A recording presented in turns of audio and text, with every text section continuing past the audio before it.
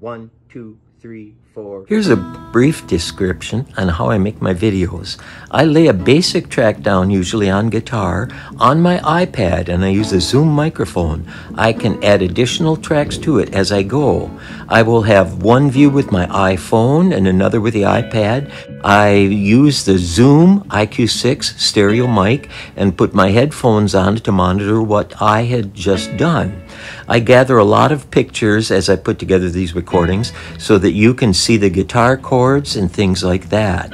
And I have to superimpose those on the tracks too as I go through it on the iPad. I can then put a few vocals down, keyboards, bass guitar, a few times through, and I've got a good little recording.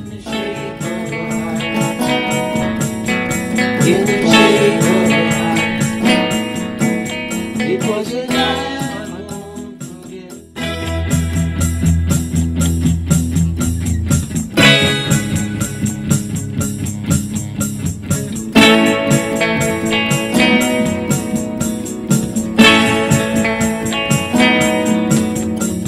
a movie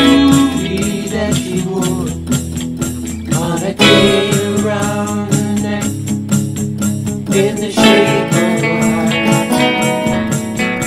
In the shape of heart. It was a night.